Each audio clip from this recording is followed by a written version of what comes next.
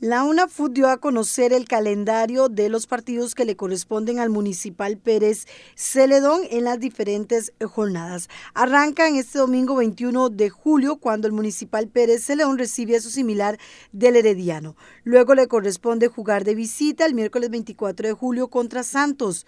Nuevamente son casa el domingo 28 de julio cuando reciben al Sporting Fútbol Club y también son casa el domingo 4 de agosto cuando reciben a su similar de San Carlos. Carlos.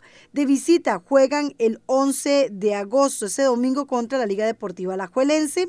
Ocho días después, el 18 de agosto, domingo propiamente, reciben a su similar de Punta Arenas Fútbol Club. Posteriormente le corresponde nuevamente jugar de visita visitando a Liberia el domingo 25 de agosto. El domingo 1 de septiembre son casa y reciben a Guanacasteca. El miércoles 11 de septiembre les toca de visita contra el Deportivo Saprissa y el domingo 15 de septiembre también serán visita contra Santa Ana Fútbol Club. El miércoles 18 de septiembre juegan en el Reducto Generaleño contra su similar de Cartaginés. El domingo 22 de septiembre visitan a Punta Arenas Fútbol Club.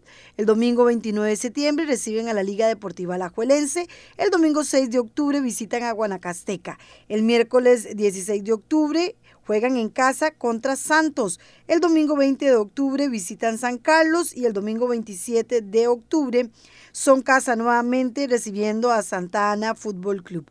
El domingo 3 de noviembre les corresponde visitar a Herediano.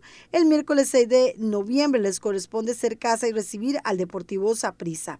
El domingo 10 de noviembre juegan contra Sporting Fútbol Club de visita y el miércoles 20 de noviembre contra Cartaginés de visita también. Y cierran el domingo 24 de noviembre siendo casa y recibiendo a Liberia.